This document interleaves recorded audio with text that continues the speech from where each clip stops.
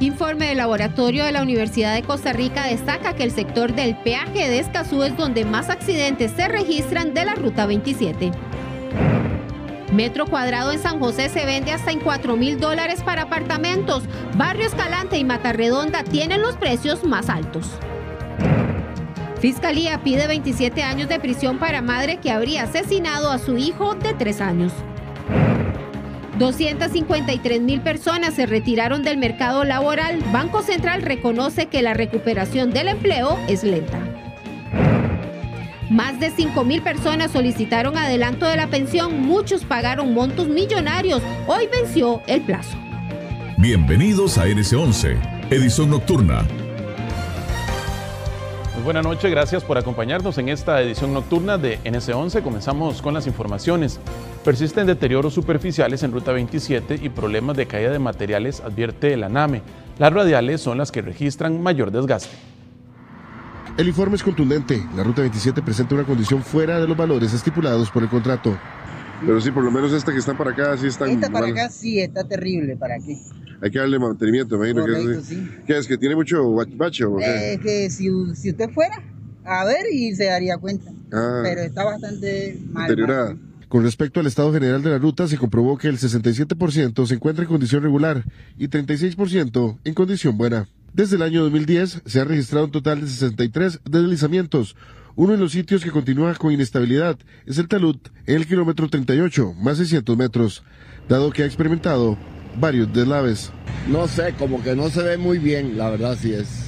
Dicen que esta callecita también. Y si, y si esta callecita ahí por, digamos aquí, por calle Sánchez, es una callecita que está que hasta que da pereza. Eso va a aparecer un montón de huecos, este montón de tráiler que no deben de pasar por ahí, siempre pasan. Eso es una barbaridad. En el tema de deterioros superficiales sigue la tendencia marcada desde la campaña de evaluación anterior, con un aumento en el área de piel de lagarto, bacheo, exudación y desprendimiento de agregado, al igual que la cantidad de kilómetros con grietas en comparación con evaluaciones anteriores.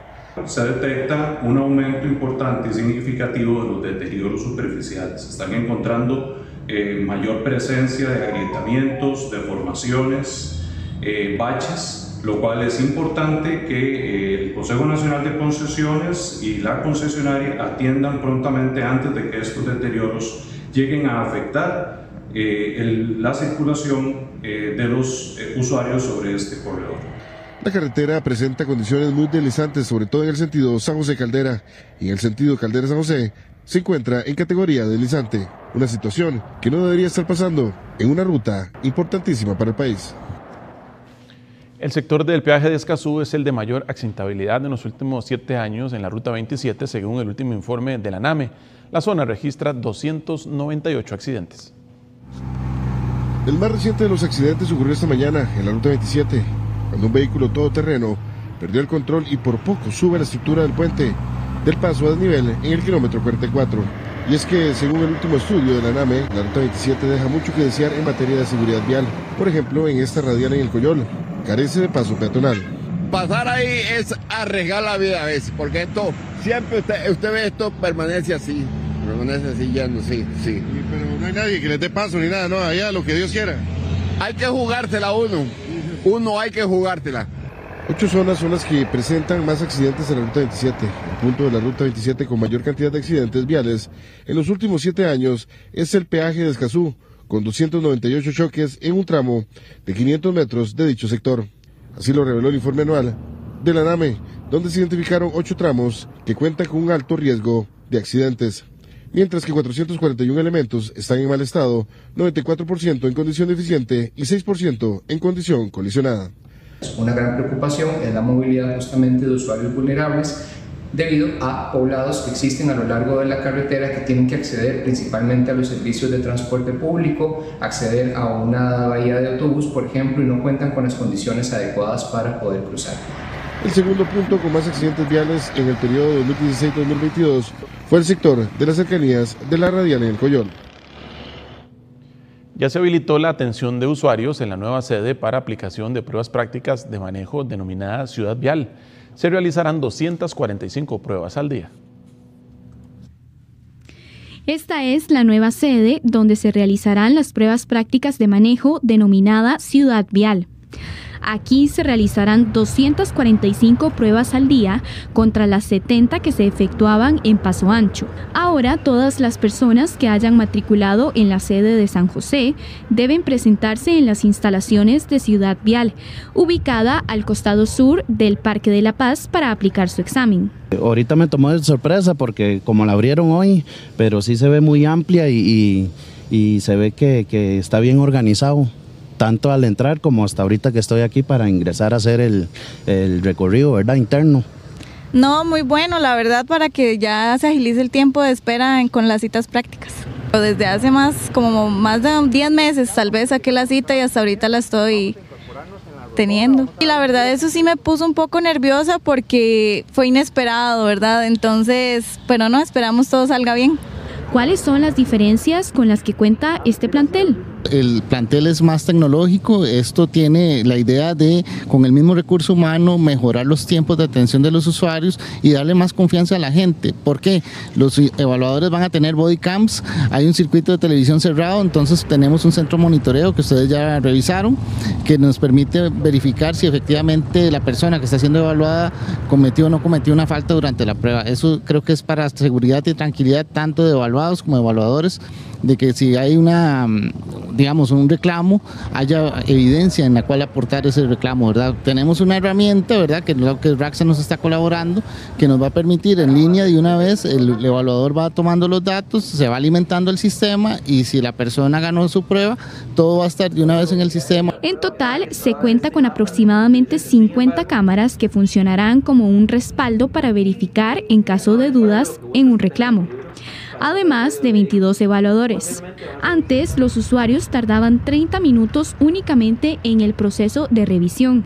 Ahora, ese tiempo se redujo y tardarán solo 5 minutos en revisión vehicular, 10 minutos en el plantel y 10 minutos en tránsito real, para un total de 25 minutos. Este jueves comenzó la encuesta nacional de ingresos y gastos de los hogares 2024-2025, la cual se extenderá por un año hasta el 31 de enero del 2025. 81 funcionarios del Instituto Nacional de Estadística y Censos estarán visitando 7.608 viviendas en todo el territorio nacional. Los datos buscan establecer la procedencia y estructura de los ingresos y los tipos de gastos que realizan los hogares costarricenses entre los temas que se abordarán en la encuesta se encuentran vivienda y servicios, empleo e ingresos, gasto en bienes y servicios de consumo, así como pagos obligatorios, entre otros. La encuesta no contempla una sola visita y se estarán realizando de lunes a sábado de 7 de la mañana a 8 de la noche. El INEC garantiza la seguridad y confidencialidad de la información. Incluye conocer y evidenciar nuevas necesidades y prácticas que podamos tener como consumidores, tal como compras en línea, servicios express, pagos por simple móvil, entre otras formas de comprar. Para recopilar esta información, se requieren realizar varias visitas a los hogares, por lo que le invitamos a abrir sus puertas para atender al personal entrevistador. Son cerca de 80 personas que están debidamente capacitadas y van identificadas con carnet, chaleco, papelería oficial con la que usted puede verificar su identidad. Por cada litro de gasolina super que usted paga, un 40% corresponde al impuesto único a los combustibles, mientras que por cada litro de gasolina regular, el 38% corresponde al impuesto. Esto quiere decir que de los 690 colones que vale el litro de gasolina super, 273 colones corresponden al impuesto. En el caso del litro de gasolina regular, que tiene un valor de 679 colones, el impuesto es de 261 colones. Según la Autoridad Reguladora de los Servicios Públicos, la ARECEP, el impuesto es cada vez más cercano al costo de compra. El impuesto único de los combustibles se estableció en la Ley 8114 del año 2001 y se actualiza de manera trimestral de acuerdo a la inflación registrada. El Ministerio de Hacienda depositará el próximo lunes 22 de enero el pago del salario escolar a 163.205 funcionarios públicos. Según las cifras finales establecidas por la Tesorería Nacional, se procederá al pago de 152.939 millones de colones.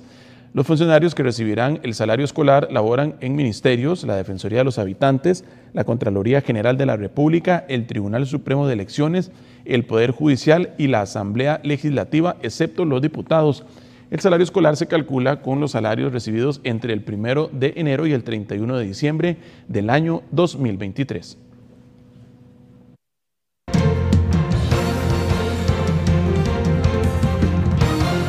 Una madre admitió durante un juicio que asesinó a su propio hijo de tan solo tres años. El hecho ocurrió en Alajuela el año anterior. La fiscalía pidió 27 años de prisión contra la sospechosa. Una madre admitió ser responsable de asesinar a su propio hijo de tan solo tres años de edad en Alajuela durante el año anterior. Esto según indicó la Fiscalía Adjunta de Atención de Hechos de Violencia en perjuicio de la niñez. El relato se llevó a cabo en la sala de juicios número 2 del Tribunal Penal de Alajuela durante este jueves 11 de enero. La experiencia nos ha indicado que pues efectivamente ha habido un incremento en la violencia, eh, en este tipo de conductas. Eh, lo bueno es que contamos con grandes colaboradores, el OIJ, tenemos el Hospital Nacional de Niños, eh, eh, el Ministerio de Educación Pública, el Patronato Nacional de la Infancia, que nos, pues, nos brindan o alertas al respecto de situaciones. La mujer de apellido Rodríguez Méndez aceptó los cargos acusados en su contra por parte del Ministerio Público tras el delito de homicidio calificado. La Fiscalía solicitó una pena de 27 años de prisión contra la mujer, mientras que el padrastro del menor de edad aún permanece fuga. Según eh, lo que se estableció en la pieza acusatoria, esta eh, señora en contubernio con su pareja sentimental sometieron a este niño a agresiones constantes, em, tanto así que de acuerdo con lo que estableció la autopsia médico-legal, el pequeño niño presentó lesiones múltiples, entre estas trauma de tórax, fractura de costillas, fractura de clavícula, laceraciones de hígado. El hecho trascendió el 28 de enero del 2023 en el Cerro de Sabanilla, en Alajuela. Esa vez, el menor sufrió hematomas en todo su cuerpo, tuvo un brazo fracturado y varios dientes quebrados. En el centro médico activaron los protocolos, sin embargo, el menor murió. En este inicio de año, la mayoría de los homicidios se concentran en las zonas costeras del país, mientras que en tres provincias se registran menos homicidios que el año pasado. A la fecha comparativamente el país inicia el año con menos homicidios que el mismo periodo del año 2023. Así lo reflejan los datos de esta sección del OIJ con 27 personas ajusticiados en el 2023 versus los 24 decesos dolosos en este año nuevo. Además, en las zonas costeras del territorio nacional es donde por ahora se concentra la mayor cantidad de homicidios ligados a venganzas, lucha de bandas y delitos conexos al narcotráfico. Por ejemplo, en Limón se despliega un amplio operativo con resultado claro oscuro, donde varias bandas se declararon a guerra desde hace meses. Sí, estamos haciendo diferentes acciones operativas en los diferentes barrios de acá, de tanto sur como norte de Limón con toda la intención de contener y minimizar ese nivel de violencia que se está generando en los últimos días en Limón para poder llevar la tranquilidad de los que todos los ciudadanos. Tenemos una acción constante, son unas 24 horas que tenemos desplegado equipos de trabajo durante, en todo el territorio acá de lo que es los barrios de Limón, centro, norte y sur, pero sí enfocamos un poco más esta fuerza en, horas tarde, noche y madrugada para poder minimizar por el movimiento que se nos pueda generar en esas horas que es más factible el movimiento de estos grupos. Veamos los siguientes datos. Limón está en primer lugar con ocho homicidios, misma cantidad que en el 2023. Le sigue Punta Arenas, que suma un caso más que el año pasado. Guanacaste está en tercer lugar con cuatro casos más comparados los dos años. La provincia de Alajuela iguala a los casos con dos. San José está en quinto lugar con dos casos, uno menos que el año 2023, y en el caso de Cartago y de Heredia, zonas que registran menos cantidad de homicidios en este inicio de año. Solamente en Limón Centro estamos hablando de cuatro grupos fuertes. En lo que es la parte allá de, de, Bribri, este, hay dos grupos también en, lucha. En lo que es Matina, que, está, que es contigo, igualmente de Limón Centro y cercano a Bribri, hay dos grupos fuertes, pero hay como cuatro más que están emergiendo. En lo que es este, Guaples hay un grupo fuerte, pero hay otro grupo también que está en la zona que, que de alguna forma le ha hecho la pelea al grupo fuerte de Guapiles. Cuando vamos a Siquirres, pues hay otra que entonces, yo, darte ese paseo por todas las provincias es, grande, ¿verdad? Tal y como ocurrió el año pasado, la edad promedio de la mayoría de los asesinados se ubica entre los 30 y los 39 años de edad, con un total, es decir, de la mitad de los ajusticiados. La mayoría son hombres.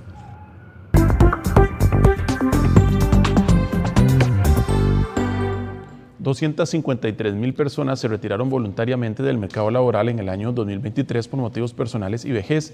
El Banco Central quiere averiguar cómo hacen estas personas para pagar sus gastos. Nuestro compañero José Vargas nos acompaña aquí en el set y nos trae esta información. Muy buenas noches, Jaime. Así es, Costa Rica atraviesa una paradoja económica y es que mientras una de cada cuatro familias son pobres, y la mitad de costarricenses no llega a finales de mes con dinero, miles de personas dejan por alguna razón de buscar trabajo. Vamos a ver a continuación esos datos que nos arroja el INEC. Esa fueron la cantidad de personas, 253 mil, las que salieron del mercado laboral en 2023. ¿Qué significa que salieron del mercado? Bueno, que dejaron de buscar trabajo y a la vez dejaron de estar contratadas en alguna empresa. Esta cantidad de personas que salieron de la fuerza laboral implicó que la tasa de desempleo se redujera a un histórico 7% que nunca se ha visto en la encuesta continua de empleo del INEC desde que se realiza en el año 2010. Al menos es la cifra más baja en 13 años y aclarar que no es por nuevos puestos de trabajo, sino principalmente porque hay menos personas demandando trabajo. Hoy el Banco Central dio a conocer un informe, las razones generales por encima por las cuales la mayoría de gente se retira del mercado laboral. Uno de esos son los jóvenes entre 15 y 24 años, los cuales alegan que por motivos personales, entre estos motivos personales está lo que es estudios, viajar o otros motivos que no se reflejan específicamente en la encuesta continua. Luego vemos otros casos en donde argumentan que buscarán trabajo en otro momento, que ahorita no es su prioridad, y algunos cuantos mencionan obligaciones familiares. Vamos a ver el, segundo grupo etario que registra más salidas del mercado laboral, son las personas mayores de 60 años. Recordemos que la pensión comienza a partir de los 62 y 65 años para la mayoría. Entonces hay muchas personas que no se sabe por qué se están saliendo de esta fuerza de trabajo después de los 60. La mayoría lo hace por vejez, por razones de su edad y un porcentaje menor por obligaciones familiares. También hay un 40% de toda esta población que están entre las edades de 25 años a 50 años, a 60 años, y no se sabe específicamente cuál es el motivo por el cual están dejando de buscar trabajo. En países de Europa y también en Estados Unidos otorgan incentivos a las personas que no trabajan, pero en Costa Rica esto no sucede. Hay miles de personas que abandonan el mercado laboral sin una razón concreta conocida por las entidades públicas. El Banco Central quiere investigar de dónde obtienen los ingresos las personas que abandonan la fuerza de trabajo. La situación económica no camina bien en muchos hogares. Ya uno trata de, salir adelante con lo poquito que le llega, pero realmente no alcanza. Una de cada cuatro familias están en condición de pobreza y la mitad de costarricenses la ve difícil para llegar a finales de mes, de acuerdo a un estudio de la empresa Índice. La paradoja es que hay más personas que abandonan voluntariamente el mercado laboral, destacan mujeres y las personas jóvenes. Eh, corazón, yo no tengo el diploma, entonces se me hace muy difícil para otro trabajo. ¿Hasta qué llegó? ¿Primaria, secundaria? Primaria, quinto. primero eh, terminar la carrera y luego y pues eh, podría buscar algún brete. La mayoría se han retirado por motivos personales muy diversos, también por vejez y obligaciones familiares, según la encuesta del INEC. Pero analistas económicos agregan otras posibles hipótesis. Uno piensa que hay que, que podría haber, digamos, un aumento de demanda de empleo en actividades ilegales que llaman, o sea, que todo lo que estamos viendo, el aumento de violencia ligado con el narcotráfico, eh, más gente ligada a ese, a, ese tipo de negocios que son ilegales y que por lo tanto no salen en ninguna encuesta. El Banco Central descarta esta hipótesis hasta en tanto no hayan datos. Además de que una de las razones que, que, la misma encuesta dice que las personas jóvenes están dando para no participar en el mercado de trabajo son motivos de estudio y, y viaje y personal. Pero no solo hay menos gente buscando empleo, Costa Rica es el segundo país de la OCDE con menos personas ocupadas trabajando. Aumenta demasiado la gente fuera del mercado laboral. Lo que uno se pregunta es de qué está viviendo esa gente. El Banco Central afirma que son los más jóvenes y mayores quienes perdieron puestos de empleo. En ambos casos, la reducción es de un 25%, mientras que las personas entre 25 y 55 años mantienen sus puestos de trabajo. Una de las preguntas que nosotros queremos seguir investigando y queremos generar información es, bueno, si una persona está decidiendo no participar en el mercado de trabajo, ¿cómo es que está financiando? ¿Cómo es que está cuáles recursos está obteniendo para poder financiar sus necesidades de consumo. La economía destruyó 133 mil puestos de trabajo en 2023, pero el Banco Central sostiene que la mayoría de empleos perdidos eran informales. El sector formal creció cerca de un 10% y el informal se contrajo en un 25%. También hubo un incremento de empleos de calificación alta, mientras que los puestos que requieren menos escolaridad se redujeron. El Banco Central concluye que son necesarias reformas estructurales para mejorar la empleabilidad. Bueno, y los cambios tecnológicos y demográficos, así como los patrones migratorios, son algunos de los elementos estructurales que presentan retos para la formulación de políticas públicas de acuerdo al Banco Central. Jaime continúa con más. Buenas noches.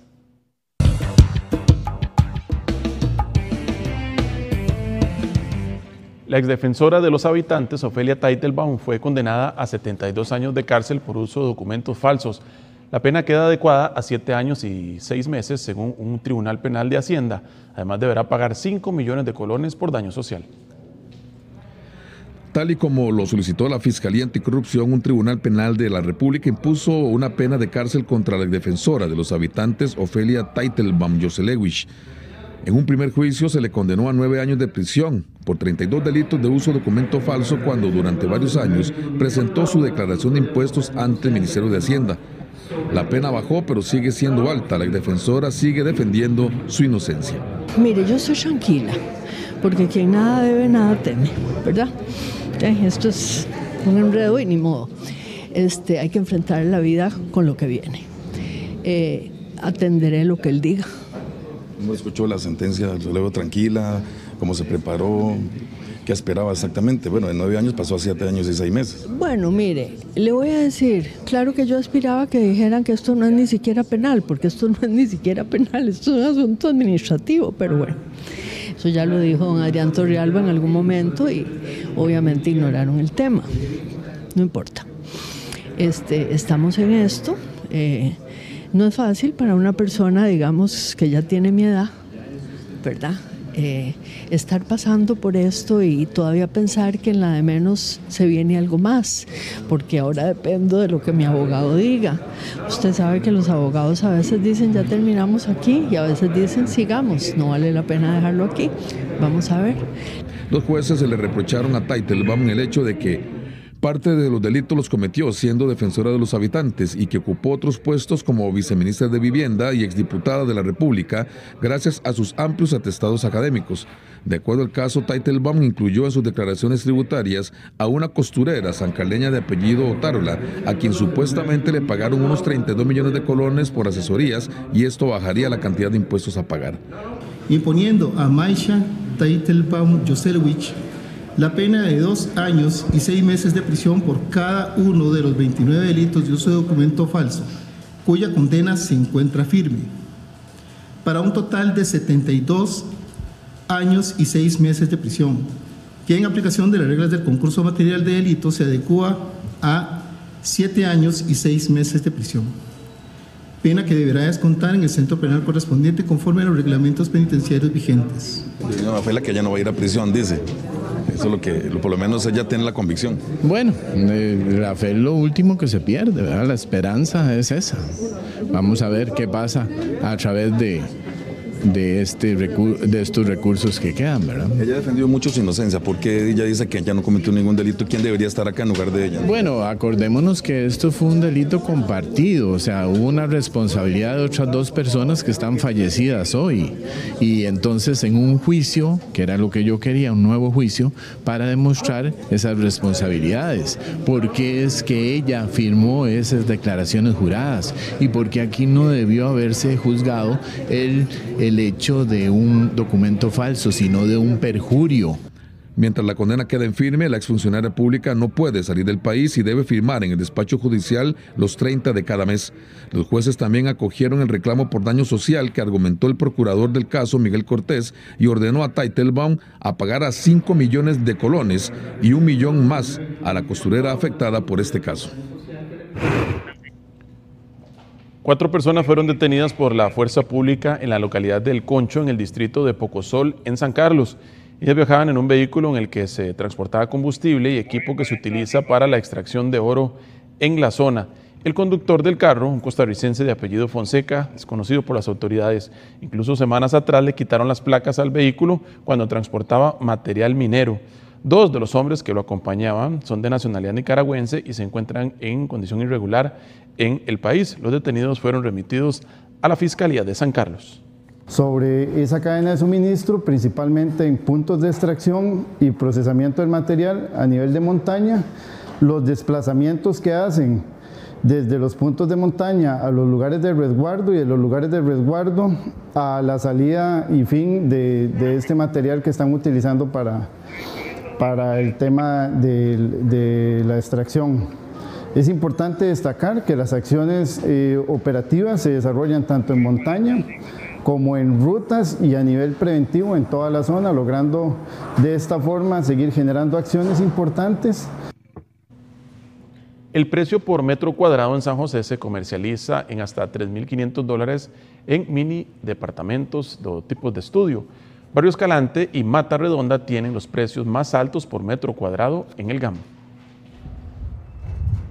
En ese espacio, frente al Parque Francia, en Barrio Escalante, se construye una torre que tendrá unidades de 31 metros cuadrados a un precio de 114 mil dólares. Es decir, el precio por metro cuadrado se comercializa en 3.400 dólares. Un monitoreo de precios del CENFI encontró que el segundo apartamento con el precio más alto por metro cuadrado en la capital se ubica en Mata Redonda con 2.900 dólares. En ese mismo distrito se vende otro a 2.700 dólares por metro cuadrado. En Barrio Escalante, una nueva torre lo vende a 2.600 y en Los Yoses un proyecto a 1.956 dólares por metro cuadrado la escasez de suelo disponible en la capital que hace que el precio por sí solo ya esté costando en nuestra capital metro cuadrado cerca de 1.500 dólares por metro cuadrado. Muchos de los apartamentos que se están ofreciendo en este tipo de precios contienen una serie de complementos relacionados con piscinas, gimnasios y los mismos materiales constructivos. El precio promedio por metro cuadrado en la capital se comercializa en 2.100 dólares. Tiva, San Sebastián y San Pedro tienen apartamentos con unidades por debajo de 2.000 dólares. El precio de los apartamentos tiende a ser mayor en unidades pequeñas tipo estudio, las cuales se ubican en puntos estratégicos como en los alrededores de la sabana. Tenemos hogares con necesidades eh, más reducidas de tamaño. igual le puedo decir que los hogares de seis o más personas que en el 84 eran más de alrededor de un 30%, en el 2011 eh, alcanzan solo un 10% los hogares de seis o más personas. Un ranking elaborado por un medio argentino situó a San José como la décima ciudad latinoamericana con el precio promedio de metro cuadrado más alto. Comprar en nuestra capital es más barato que en Buenos Aires, Ciudad de México y Santiago de Chile, pero es más caro que en Panamá y Bogotá.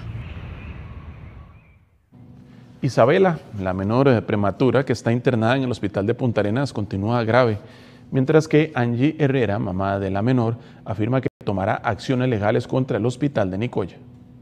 Y yo le dije a la, a la doctora que por favor me la refiriera al Hospital México, al de niños, a cualquier hospital, pero que me la sacara de ese carnicero. Así de fuerte fueron las palabras de Angie Herrera, la mamá de la pequeña Isabela, bebé prematura que nació en el hospital de Nicoya. Ella llegó y me dijo que si yo quería, me inyectaban la bebita para que la bebita es, mm, o sea, se durmiera tranquilita y no estuviera... ¿Eutanasia? No, no, no, este, como tranquilizarla. ¿Sedar? Algo así. Cosa que yo no permití porque yo sabía que mi bebé en ese estado lo que más tenía que estar era más despierta que nunca y estarla moviendo y así para que ella llorara o y sus pulmoncitos fueran agarrando fuerzas, pero ella prácticamente lo que quería era sedarme la bebé para que la bebé se muriera más rápido. Ante la situación, doña Angie afirmó que va a tomar acciones legales contra el hospital de Nicoya. Mientras tanto, en el hospital de Punta Arenas hacen todo lo posible por darle la mejor atención a la menor. Al igual que los días anteriores, se encuentra en condición crítica, luchando por su vida. Nuestro equipo técnico y profesional está realizando todos los esfuerzos posibles para mejorar esta condición actual.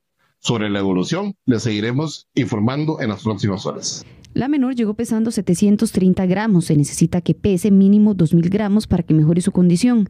Mientras tanto, recibe oxigenación y es alimentada por medio de una sonda. Dispositivos médicos, banano y café serán parte de los productos incluidos en el acuerdo comercial con Emiratos Árabes Unidos. El acuerdo de asociación económica integral sobre comercio e inversión con Emiratos Árabes Unidos se une a la lista de tratados comerciales que tiene Costa Rica con varios países. Los exportadores nacionales tendrán acceso preferencial a un mercado de 10 millones de consumidores con un Producto Interno Bruto per cápita aproximado a los 51 mil dólares.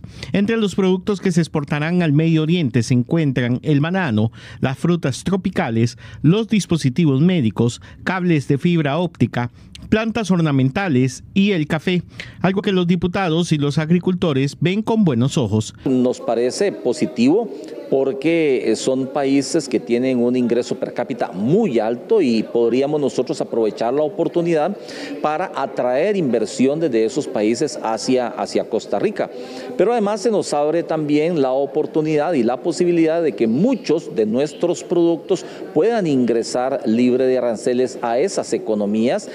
Hay que valorar eh, muy bien cuáles van a ser los sectores eh, involucrados, eh, cuáles van a ser los beneficios para el país, cuáles van a ser los sectores que van a poder tener una relación comercial con Emiratos Árabes Unidos. Hay que ver qué quieren los, los, los, los árabes eh, con, con, nosotros, ¿verdad? Hay que ver cuáles son sus áreas de interés, sus intereses de inversión eh, y por supuesto que vamos a estar muy pendientes de ya los pormenores del tratado comercial. Logró un balance positivo entre las posiciones de cada uno de los sectores asociados a la Cámara y por lo tanto las negociaciones fueron eh, efectivas. Se espera que la firma del acuerdo entre Costa Rica y Emiratos Árabes Unidos se realice durante los primeros meses del 2024 para posteriormente iniciar su trámite en Asamblea Legislativa.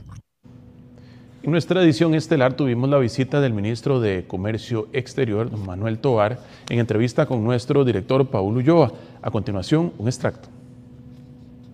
Hoy hemos concluido una negociación histórica para el país es el primer acuerdo de naturaleza comercial eh, negociado, con, concluido con una nación del Medio Oriente y el Golfo, que es una región del mundo con un, eh, una sofisticación eh, cada vez más, más, más alta, más fuerte, no solamente en sus hábitos de consumo, pero también hay que entender que son eh, sociedades, son economías también muy incorporadas eh, en el sector de servicios y también son importantes eh, inversionistas ex, eh, externos. Hay mucho capital ahí, hay mucho potencial para poder atraer inversión al, a Costa Rica, al país, en sectores como energías limpias, que es un sector que ellos han manifestado interés.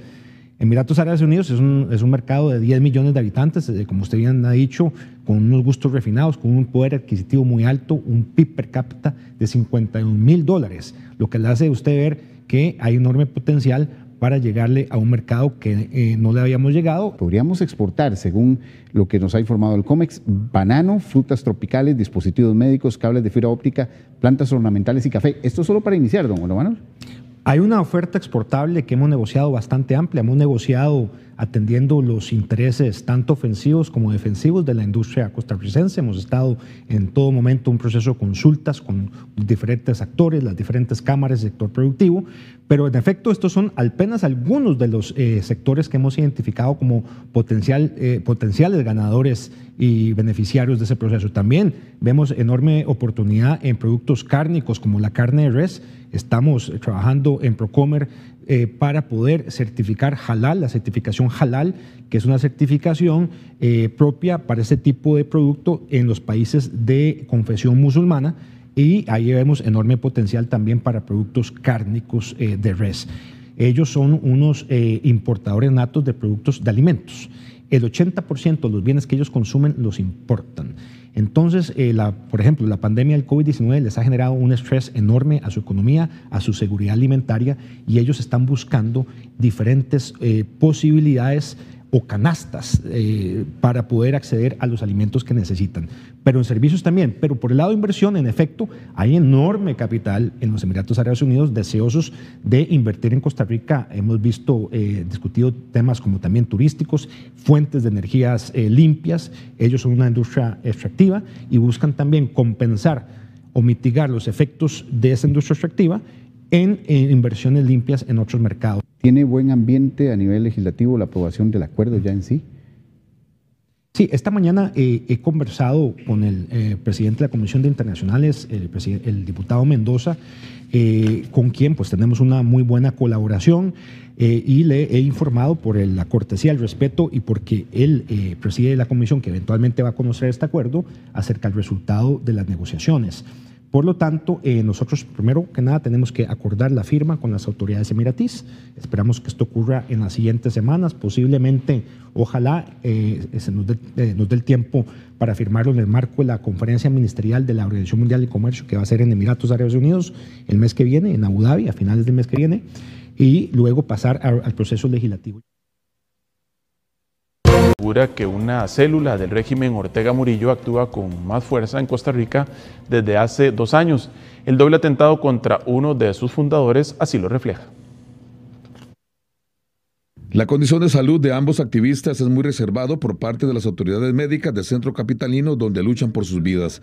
Joao Maldonado y su esposa Nadia Robleto fueron víctimas de gatilleros este miércoles en el sector de San Pedro de Montedioca cuando circulaban en un vehículo prestado justo se ocupaban de trámites para su salida urgente del país hacia los Estados Unidos. En el caso de Maldonado, esta es la segunda vez que termina en un hospital herido de bala. Así que la Unión de Exiliados Nicaragüenses con sede en Costa Rica asegura que desde hace dos años una célula fiel al gobierno de Ortega se afianzó en el país. A lo largo de estos cinco años y medio que tenemos, nosotros eh, a través de, de, nuestra organización hemos venido identificando actores eh, desde orden diplomático hasta actores retirados del ejército, infiltrados en Costa Rica, para hacer una labor eh, de inteligencia acá. Eh, eso no es nuevo para las autoridades costarricenses, no es nuevo para la OIJ, no es nuevo para la DIS. Eh, obviamente a lo mejor eh, el, Ejecutivo actualmente estará indagándose un poco sobre el asunto. Ante nuestra consulta a la Dirección de Inteligencia y Seguridad de la DIS a través de Casa Presidencial se nos indicó que el caso se está analizando para establecer la línea a seguir. Además desmintieron que la dirección le estaba dando protección a la familia Maldonado Robleto, recordando que solo el Poder Judicial brinda este tipo de custodia. Sí, yo creo que lo que hay que hacer es cuidarse. Yo creo que esto es un aviso no solamente para para Joao, sino que fue un aviso para todos los exiliados que hay que andar con cuidado porque el brazo del régimen es bastante grande. En el centro médico donde convalece la pareja se nos indicó que ambos fueron intervenidos quirúrgicamente y se les brinda todo el soporte necesario para intentar salvar la vida. Tras varias horas de búsqueda, autoridades localizaron con vida al hombre que fue arrastrado por la corriente del río Pejivalle en la provincia de Cartago la tarde de este miércoles. El rescatado se encontraba realizando kayak en la zona de embalse cuando se volcó. Su búsqueda se extendió hasta altas horas de la noche de este miércoles y hoy jueves, bien temprano, reanudaron las labores hasta ubicarlo. El hombre fue trasladado al hospital William Allen de Turrialba para su valoración. Este jueves se abrieron 10 kilómetros más de la Ruta 32 en un sector clave para el comercio como lo es el Río Frío. Los 10 kilómetros cuentan con dos carriles por sentido. Luego de más de cinco años de espera, finalmente se concretó la habilitación de 10 kilómetros en cuatro carriles en la Ruta 32. Una buena noticia para la gente que tenía cinco años de estar sufriendo un proyecto que no avanzaba, que no se concluía, eh, hace un año no teníamos nada. Hoy se están aperturando 10 kilómetros que se van a unir con otros 24 kilómetros que ya teníamos abiertos en una primera rama y otros muchos más que tenemos abiertos. En total vamos a tener abiertos 68 kilómetros a cuatro carriles. El recorrido habilitado va desde el cruce de Río Frío a Toro Amarillo, uno de los sectores con mayor comercio en la zona. Y es que pese a los tropiezos del proyecto faltaría poco para su apertura definitiva. La ampliación de la Ruta 32 entre el cruce hacia Río Frío y Centro de Limón, a cargo de la constructora China Check, registró este año uno de los niveles más lentos de avances del inicio de los trabajos que llevan seis años. La apertura para nosotros es una noticia muy excelente porque sí, ha sido muy duro todo este trayecto, nos ha afectado mucho el comercio. Está bien porque yo vivo aquí sobre la ruta 32, eh, detrás del bar restaurante El Corinto. Dos veces que cerraron una vía. El dueño del restaurante Corinto está sufriendo porque no pasan muchos carros, solo por, por una vía. También yo voy a abrir dos para abajo y dos para arriba, excelente, queda así a lo tico, a cachete inflado queda la vía. Con esta medida restan 39 kilómetros para ser inaugurados de un total de 104. El feriado del 25 de julio se mantendrá en su fecha original luego de que los diputados aprobaran el segundo debate del proyecto de ley. La iniciativa elimina la posibilidad de que el día festivo fuera trasladado al lunes. Esto para celebrar el bicentenario de la anexión del partido de Nicoya Costa Rica en su fecha. Desde el 2020 algunos feriados serán trasladados al lunes más cercano, esto para crear fines de semana largos y ayudar a reactivar la economía del país y hubo muchas excepciones, entre, entre ellas la parte cultural. Pero hoy le estamos diciendo a Guanacaste, bienvenido, ese es el nuevo, el bicentenario que vamos a tener, va a ser el propio feriado de la celebración, que es lo más importantísimo, entonces lo vamos a, a, celebrar muchísimo y nos sentimos muy contentos porque el tema de los 200 años, de los 200 años va a generar muchísimas oportunidades para la provincia. La gerencia de pensiones espera resolver más de 3.000 solicitudes que están en trámite entre enero y marzo. Según datos de la entidad, el 29% de las solicitudes provienen del sector público. Este es el movimiento de personas que se observa este jueves en las afueras del edificio de pensiones de la Caja Costarricense de Seguro Social, a un día de que empiecen a regir los nuevos cambios en el retiro anticipado. De acuerdo con la gerencia de pensiones, la mayoría de solicitudes provienen del sector público, con un 51%, un 29% del sector privado y el resto de cuenta propia todos los ciudadanos han tenido la oportunidad de tramitar su retiro anticipado en el seguro de IBM bajo la modalidad de cálculo y edad de retiro que está establecida a hoy. El ahorro es la base de la decisión de cuándo es que yo me puedo jubilar. Según el último corte, se han tramitado 5.000 solicitudes, 1.035 solicitudes aprobadas de anticipo de pensión, 600 están en curso y esperan resolver antes de mañana y 3.400 en trámite, las cuales esperan resolver entre febrero y marzo. ¿Qué esperamos nosotros a la hora de que entran en vigencia estas eh, reformas o esta modalidad ya de retiro por vejez? Bueno, los objetivos que establecimos en el proceso de reforma y el objetivo muy claro es lograr la solvencia y sostenibilidad del régimen más allá o por lo menos al, 2000, al 2050. Del sector público, hay personas que tenían abierto un fondo complementario en mayor cantidad de lo que había en el sector privado. Tomaron la previsión y hoy se están, se están jubilando. Repasemos los cambios. El primero surge en la pensión anticipada de los hombres. La pensión a los 61 años y 11 meses, es decir, la pensión anticipada para los varones, se elimina. La edad de pensión se mantiene a los 65 años. En el caso de las mujeres, la pensión anticipada a los 59 años y 11 meses pasa ahora a los 63 años. Ya, yo pienso que, bueno, no sé, yo, yo, ya estoy pensionado, pero a los 60, casi 64 años ya y los demás que pasaron, yo pienso que, de que, no sé, es como más alargarle a uno el tiempo, ya uno está deseando ir a descansar con sus nietos, llevarlos a, a pasear y ya uno va a llegar casi como, casi a enfermo casi a la casa. Feliz, ojalá me hubiera tocado eso a mí. Yo a mí me la dieron hasta los 65 y, y luchando, porque uno a veces toca con patrones malos que le rebajan a uno pero no pagan a la caja. Cuando vine a, sacar mi, mi, pensión, me dijo el señor, no mamita, usted no tiene las cotas. Digo, pero ¿qué? Tengo años de trabajar. Los hombres deberán contar con un mínimo de 462 cuotas, mientras que las mujeres con 405 cotizaciones. hacemos una. Con los deportes llegamos al final de esta edición nocturna de NC11. Recuerde seguir informándose en nuestras redes sociales. Muchas gracias por su compañía. Que tengan muy buena noche.